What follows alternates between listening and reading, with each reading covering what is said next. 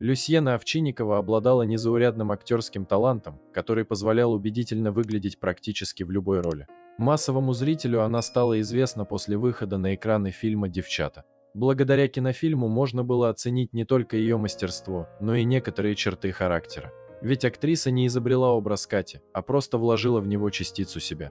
Перед окружающими она представала обаятельной и веселой девушкой, хотя в действительности переживала тяжелую личную драму. Причина ее бед крылась в эгоизме, желании самореализоваться и череде неудачных решений, которые отравляли жизнь и на склоне лет сделали ее просто невыносимой. А начиналось все весьма многообещающе. Люсьена родилась 10 сентября 1931 года в украинском Олевске, в семье военного. Мать по неизвестной причине свела счеты жизнью, оставив шестилетнюю дочь на плечах отца. Мужчина быстро оправился после трагедии и женился во второй раз.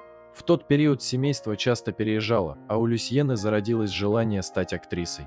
Она грезила о театре, но тогда излишняя застенчивость помешала даже записаться в школьный драмкружок.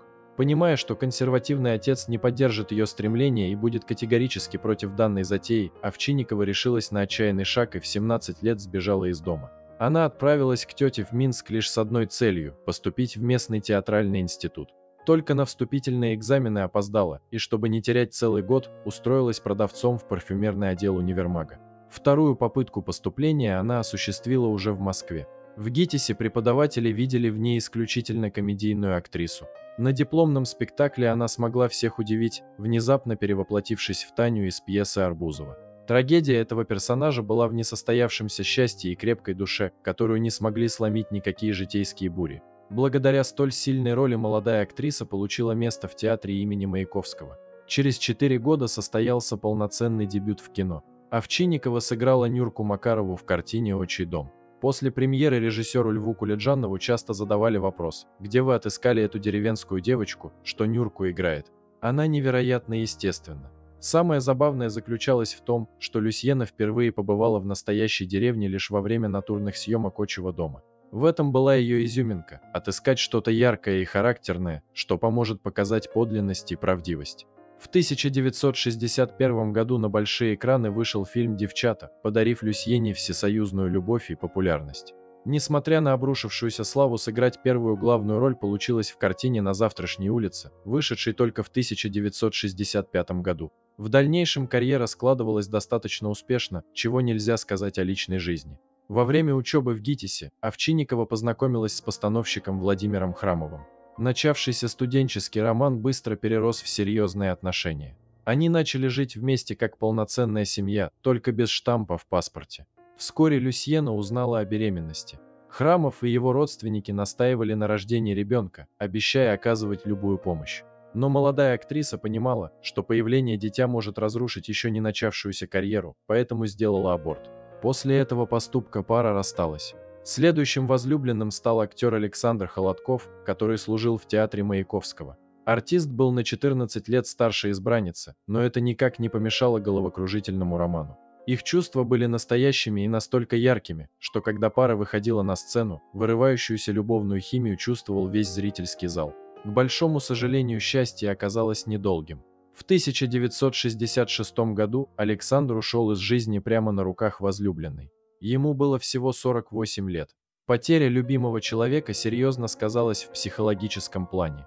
Люсьена в несвойственной манере начала посещать всевозможные застолья и уходить в запой.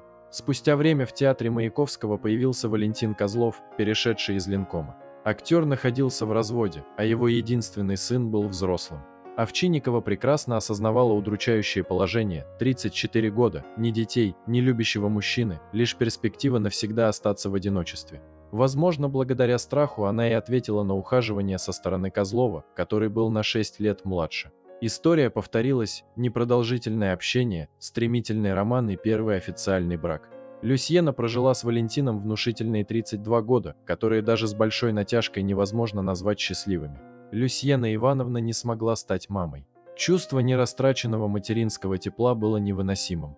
Все усложнял муж, который от зависти и невостребованности вымещал злость на близком человеке. Овчинникова терпела унижение и даже рукоприкладство, при этом продолжая его содержать.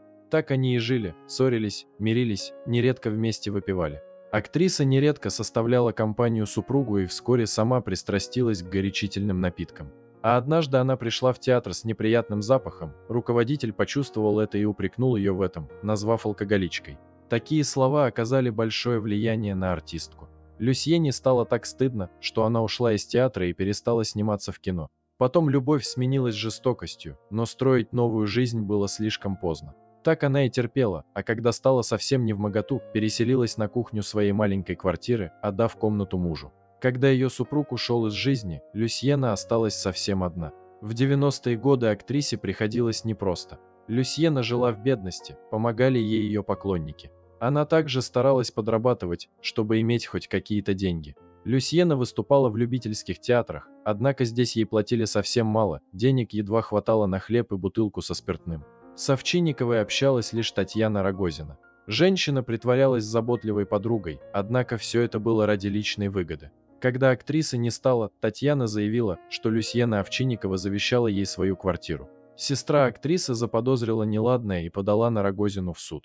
Родственница думала, что подруга нарочно спаивала Люсьену, чтобы получить подпись, однако завещание оказалось и вовсе подделкой.